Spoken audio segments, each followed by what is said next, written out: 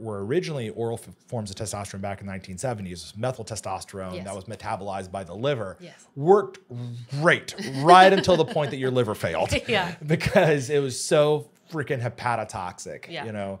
So anyone, you know, will tell you you take an oral anabolic like let's say uh, methyl testosterone or like uh, Winstrol, even you know Anavar, although it's safer. All these oral anabolics go through what's called first pass metabolism in the liver, and uh, the original forms of oral testosterone were the same. And so you would get these elevations in liver enzymes because you know your liver was taking the hit of that medication.